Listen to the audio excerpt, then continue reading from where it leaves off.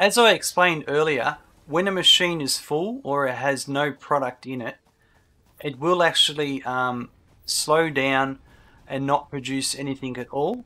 So you should, and that at this stage of the game, this is occurring because we don't have anything automatically feeding the machines, and that's normal.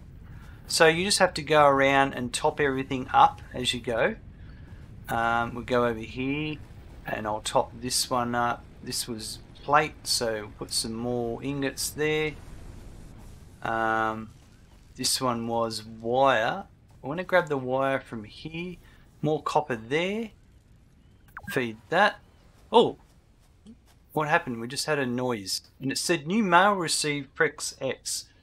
If I press X, there's an inbox here and it says power circuit notification. A fuse has been triggered. Be sure to check your power circuits. If there is not enough power to satisfy the demand, the grid will short circuit all buildings connected to that grid and shut down until you reset the fuse and meet the required demand for power. Check it out. If you go to any power pole, you can see here it actually peaks at 20 megawatts, or it'd probably be 20.1. Yeah, the consumption reached 20.1, and that caused. So if I try to restart it, it happens again.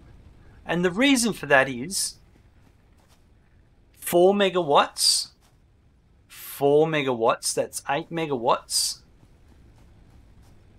4 megawatts, 12, 16, 20, and another one over there that tipped it over the edge.